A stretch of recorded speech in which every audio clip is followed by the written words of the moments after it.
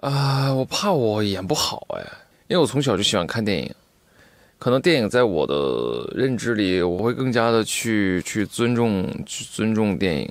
啊，就是会会仰慕电影吧，也也也也一直梦想自己未来做一个很优秀的一个电影人。啊，所以其实拍了这么多年戏，我觉得当然也有一些别的原因，可能没有碰上一个自己喜欢的电影啊什么的，所以就一直在拍电视剧啊。然后可能一直拍的剧剧比较多，然后大家也会认为，哎，邓伦就拍电视剧不拍电影啊什么的。但其实我一直很想拍电影，就是我觉得没碰到机会吧。我觉得这次跟小司导演，我觉得就是时时间到了。我觉得首先故事，因为我我看剧本的时候，我是两部一起看的，呃，第一部跟第二部一起看的，这两部完全不一样。嗯，它是有很大的一个反差的。从第一部博雅晴明初始，因为在第一部他们俩就生死交付了，到最后对，到第二部他们生死交付以后，然后他们俩的有另一种的一种情感，然后去面对面对很多的事情啊，又是一个全新的一个故事。首先这种的差别先吸引到我，再看到第一部就马上要播的这一部，其实。呃，也是波雅这个角色，我觉得其实跟我自己还还真的有点有点像，有点耿直。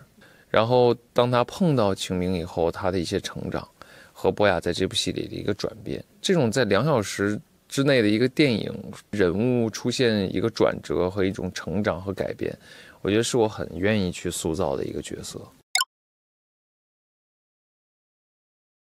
非常不一样，我现在不能说，但是我可以告诉你们，第二部的伯牙是你们这辈子都想象不到的伯牙，嗯，真的，我都我都没想象到，我我我看完第二部剧本我都懵了，我看完第一遍我都没看懂，你们看完第一部以后，你们会觉得哦，这是阴阳师世界，这是伯牙，这是清明，你们再看第二部，完全不是你们心中的伯牙了，嗯，卖关子了，对对对。对，主要是我们老开玩笑啊，就一开玩笑，然后一说，然后就会觉得肉麻，其实没什么啊，其实就很正常。私底下又是朋友，然后又在一块工作，然后所以就老开玩笑啊，一开玩笑，然后一说就老是老觉得有点肉麻呀什么的啊。开什么样的玩笑呀？说这这台词就就就没什么别的意思吧什么的，那没什么别的意思呀，就是对，然后就就瞎瞎瞎开玩笑啊，对。没想过，但是在这戏里，我演了清明，他也演了博雅，哎，不知道啊，哎，不说了。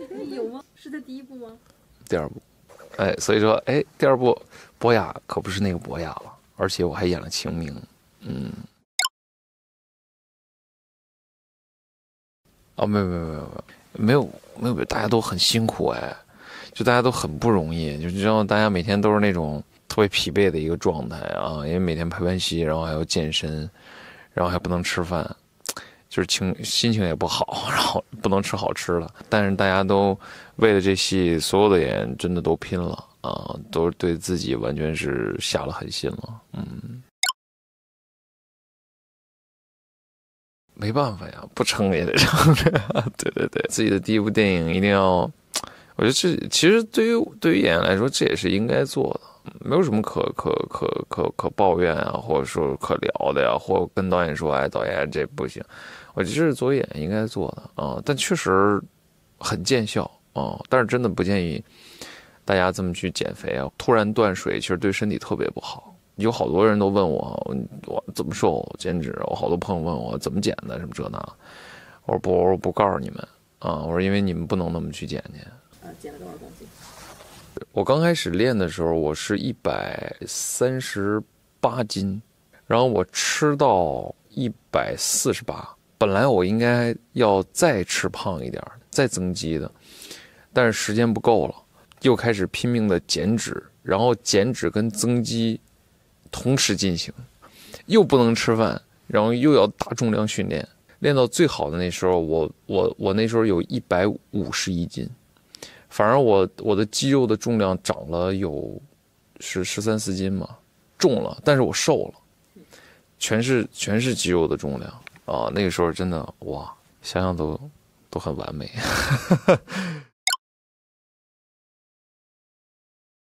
我我我觉得，首先作为这个文艺工作者，你不管是综艺也好，电视剧也好，电影也好，你接哪个工作，你得喜欢它。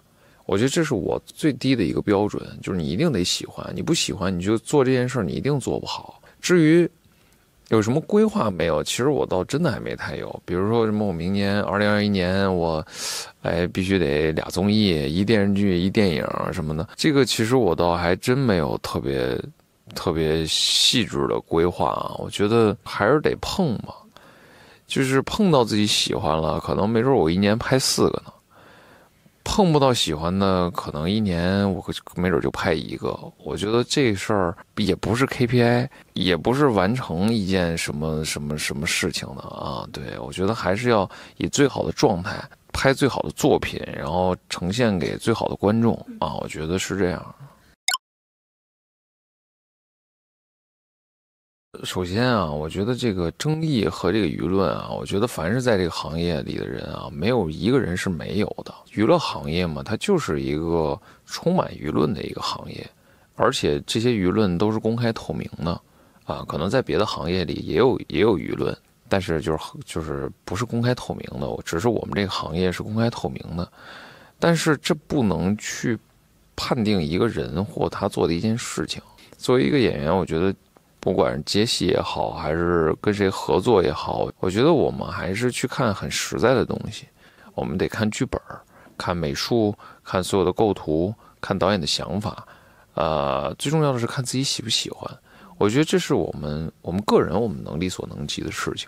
至于外界的东西或社会的舆论或怎么怎么样，第一我们控制不了，第二我们真的不能为他而活着。如果我们每一个文艺工作者都为这些而活着的话，我们我觉得我们活不精彩。我觉得特别的好。我觉得首先，我觉得这是我的一个敲门砖嘛。我觉得对于我的第一部电影，我觉得郭导给了我特别特别大的信心，这是真的。就是其实没有他给我的这种安全感，可能我不会接这部戏的。再有就是，其实对于对于表在电影上表演上的很多东西，我觉得，我觉得郭导也也也确实。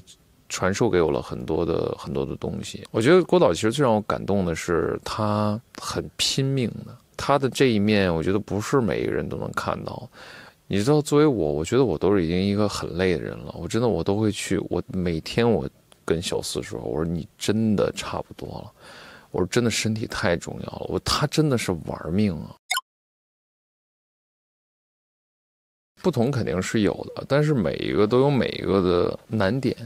比如电视剧，可能可能它更需要语言的表达，还有表演的连贯性，其实这是非常难的。然后在电影里呢，可能就是更多的是细节和情绪的表达，这也是很难的。我觉得这次拍这个电影，也也真的体会到了一个拍电影的一个表演的方式。我觉得真的对于我来说，学到了很多的东西。